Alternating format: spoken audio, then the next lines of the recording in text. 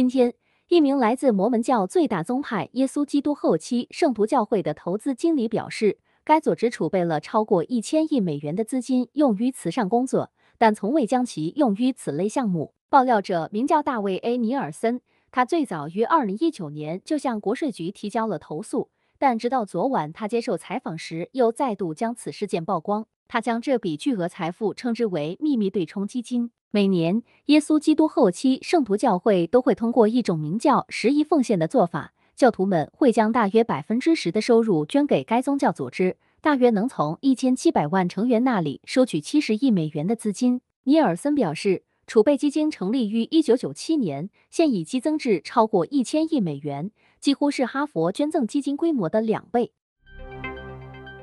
乌克兰总统泽连斯基昨天对西欧多国进行了连续的旋风式访问之后，今天抵达了英国，与首相苏纳克进行了会面。除了上周宣布的巡航导弹外，英国还将向乌克兰运送数百枚防空导弹和武装无人机。苏纳克表示，提供战斗机不是一件简单的事情，不过他确实愿意让英国成为提供这种支持的重要组成部分。泽连斯基则还是希望英国能够提供 F 幺六战斗机。他在演讲中表示，乌克兰无法保护自己的天空，需要盟国更多的帮助。但由于训练此类飞行员的时间往往需要数月，西方国家提供此类武器的意愿也至今较低。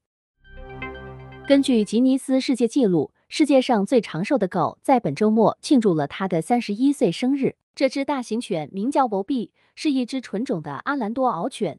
平均寿命为十二至十四岁。他在葡萄牙村庄的家中与一百多人一起庆祝了他的生日派对。狗主人莱安内尔科斯塔表示，他过去也曾养过几只老年狗，其中就包括博比的母亲吉拉，活到了十八岁。然而，他从未想过他的狗会活到三十多岁。在这只狗狗的一生中，一直在房子周围的森林中自由漫步，从未被束缚或拴住。科斯塔说，这只非常善于交际的狗从不孤单。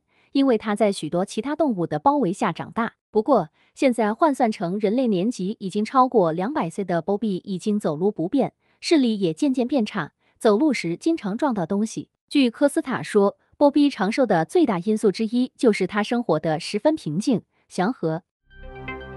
北美地区已经开始逐渐入夏。昨天，太平洋西北部的多个地区打破了单日高温记录。其中就包括了俄勒冈州的波特兰和华盛顿州的西雅图。西雅图国家气象局办公室说，西雅图已经连续第四天出现八十多度的高温，这甚至已经超过了七月盛夏时的温度。而且由于气温较为温和，很多家庭都没有安装冷气，因此即使到了夜间，身体也很难从白天的高温中恢复过来。目前，国家气象局已经向太平洋西北地区和加州中部地区的一千万人发出高温警报。随着本周高温影响的持续，西部近一百五十项高温记录或将被再次刷新。